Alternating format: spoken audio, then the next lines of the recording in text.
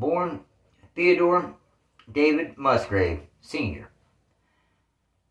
Ted Musgrave was born on December 18, 1955, in Waukegan, Illinois. Ted's father, Elmer, was a short track racer for over 25 years. He raced in the Midwest at places like Soldier Field, O'Hare, and other tracks around the Midwest before moving on to paved tracks in both ASA and ARCA. Later, Musgrave's father would stop racing and focus on getting Ted and his older brother Tom's racing career started. Ted began racing in 1977 when he ended up getting a hand-me-down 1967 Ford Galaxie. He rebuilt the race car into a Ford Torino, and he ended up winning Rookie of the Year award at the racetrack and walking in Waukegan in 1977. Turns out the Musgraves built a Ford Mustang after getting tips from short track legend Dick Trickle to run that next season in 1978. So, by 79, Ted had become a regular on the Central Wisconsin Tour, or CWRA, finishing seventh in points that season.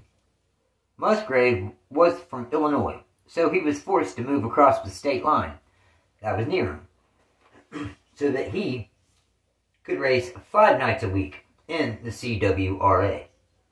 He ran at Grundy County Speedway, La Crosse, and State Park Speedway, just to name a few different tracks.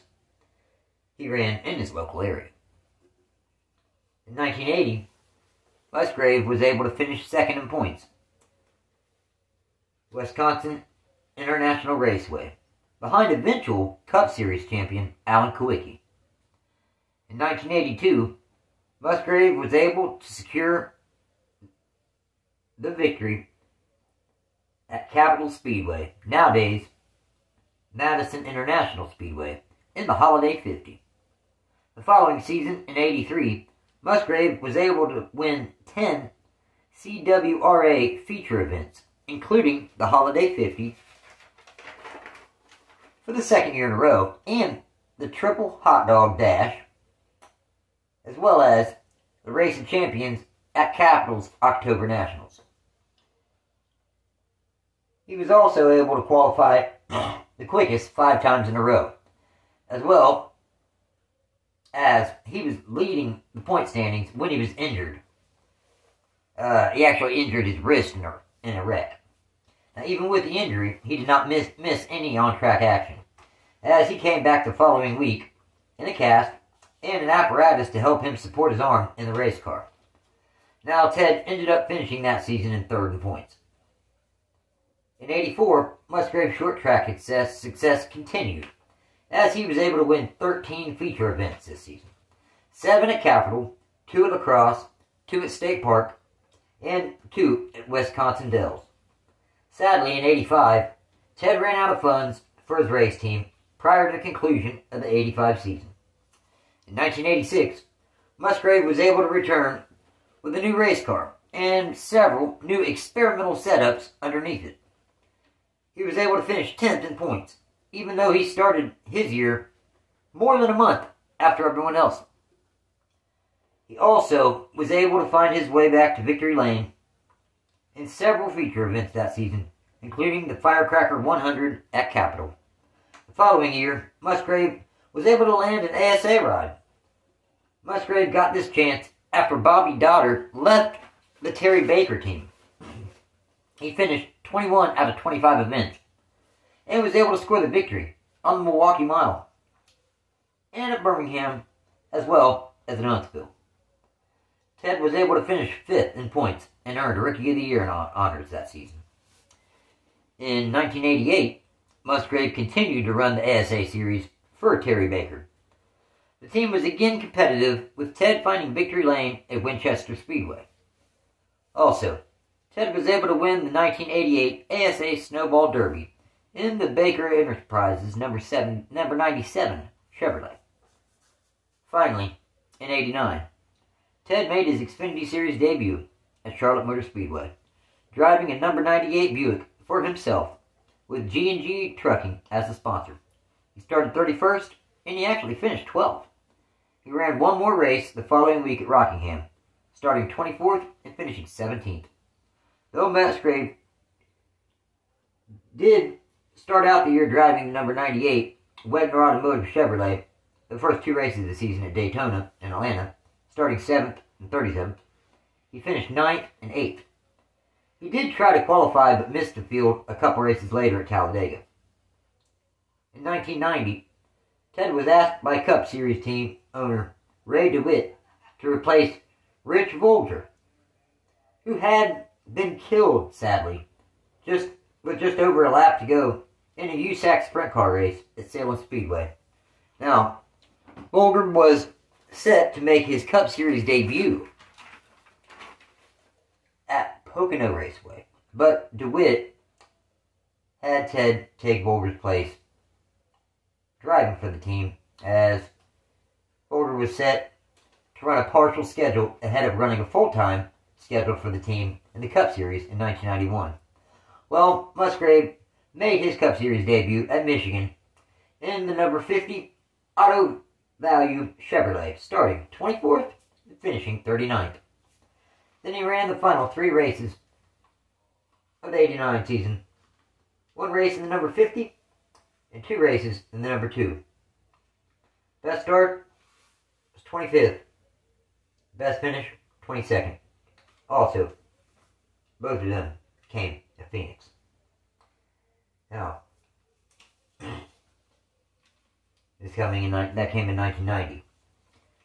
For 1991, the 1991 season began, and so did Ted Musgrave's career as a full-time driver in the Cup Series. He drove for DK Ulrich and Ray DeWitt's number 55 Pontiac. The team was able to qualify for all 29 races that season. Starting at race 19 in Michigan, the team picked up Jasper Engines as a full-time primary sponsor. The team's best start was 15th at Michigan, and their best finish was 12th at Bristol in the spring.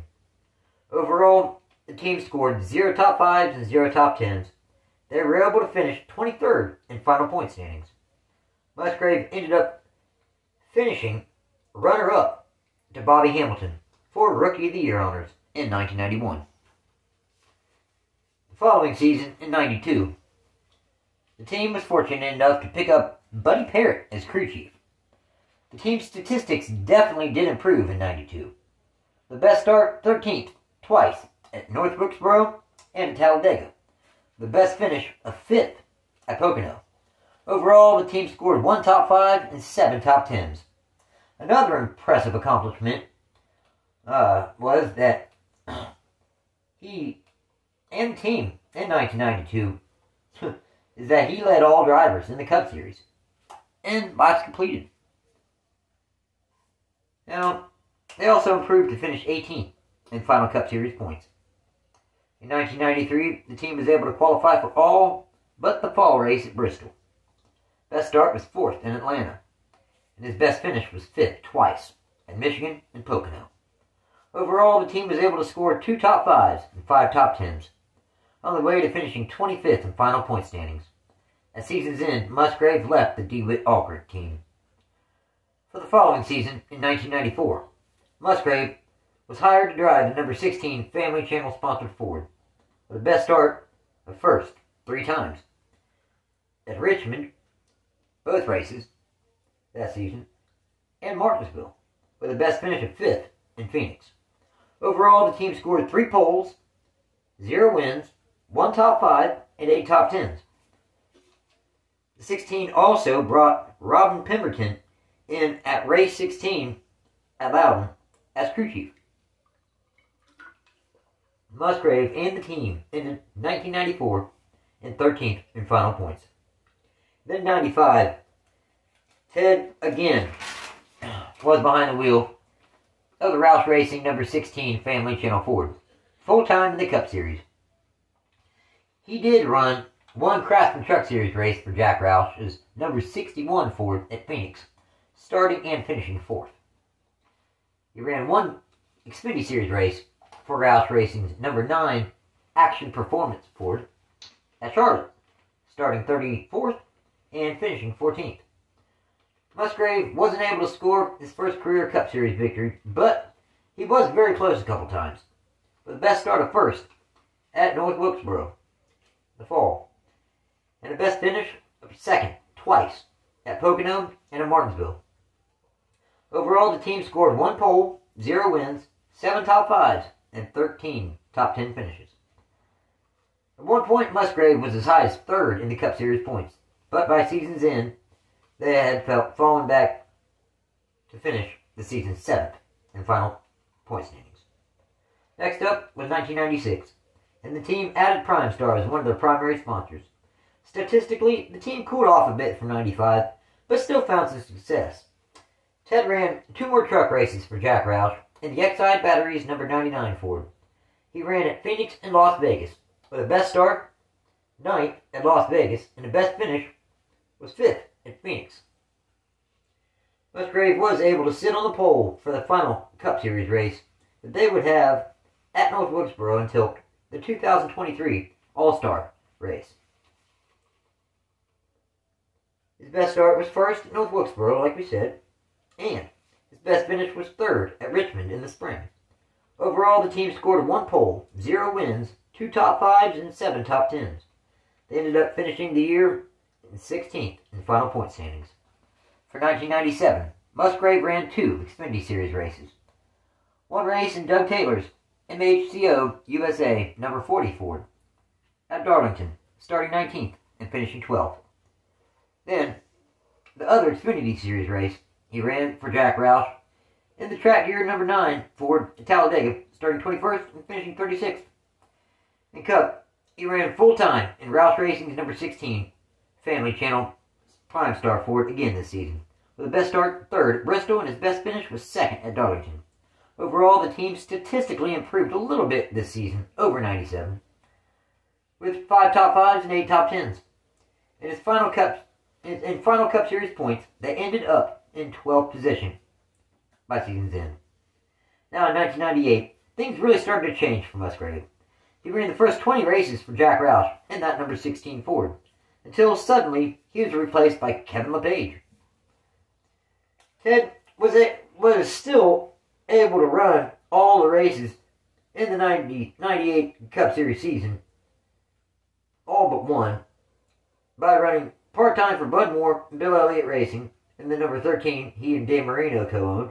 He also subbed for the for in the number 23 Travis Carter team and also for the number 77 Jasper Motorsports team. In the number 16, he scored one top five and four top tens. Best finish, best start eighth at Pocono, and his best finish was second at Martinsville. His two starts in the number 15 for Bud Moore. He started 32nd both times in Michigan and in Darlington, and his best finish was 39th Michigan. In his one race each for the number 23, Travis Carter at Bristol, he ran, he started 6th and he finished 20th. For Buzz McCall's number 96 in Richmond, Musgrave started 17th and finished 25th. He ran one race at Martinsville behind the wheel of the Jasper Motorsports number 77, starting 9th and finishing 15th. Then he also ran seven races for the Elliott Marino number 13 First Plus Financial Ford.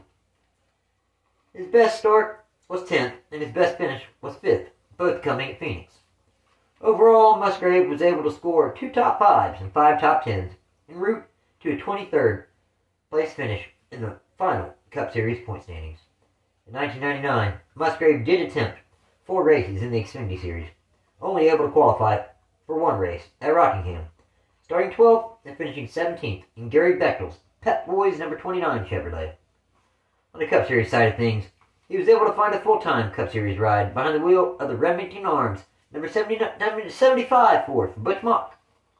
The team qualified for 32 out of 34 events. This is Las Vegas, and the season finale in Atlanta. Best start was second in Martinsville. Best finish, seventh at Bristol in the spring. They ended up finishing 33rd in final Cup Series points. At the end of the season, Musgrave quit the number 75 team. Ted started the 2000 Cup Series season without a ride the number 60 Power Team car owned by Joe Bessey had him start driving their car at race two in Rockingham. Ted ran the number 60 for five races.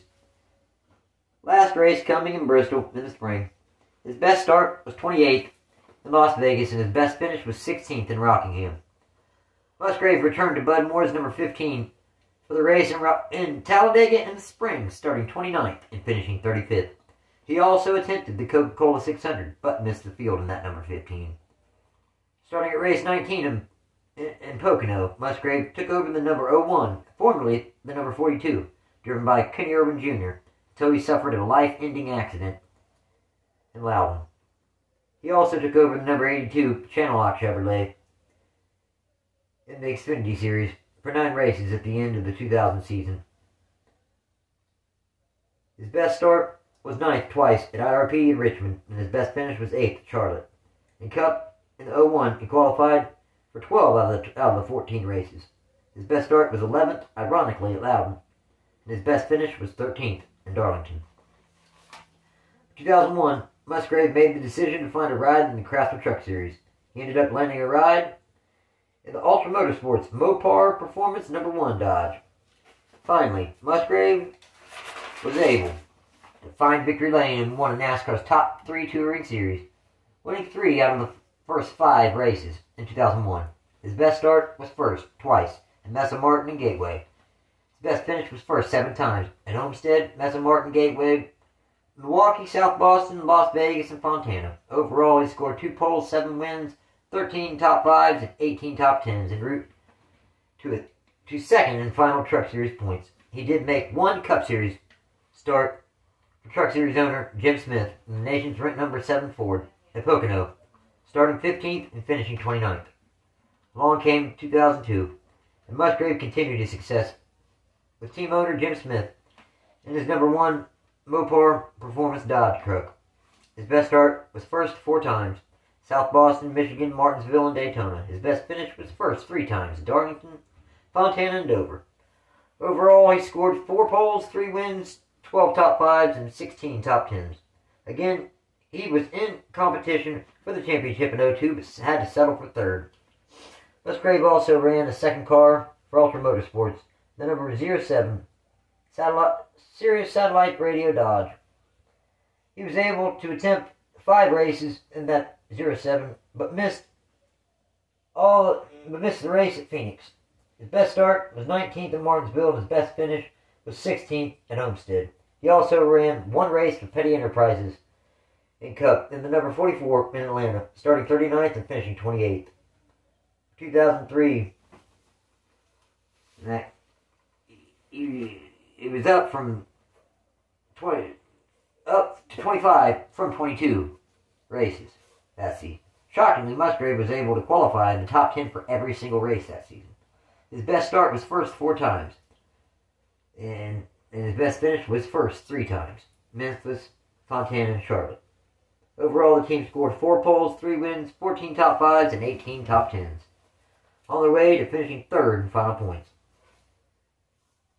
After Jimmy Spencer got suspended for the Bristol race weekend, following an altercation between he and Kurt Busch, Musgrave was asked by both Jim Smith and Tommy Baldwin to fill in for Spencer in the Xfinity Cup Series.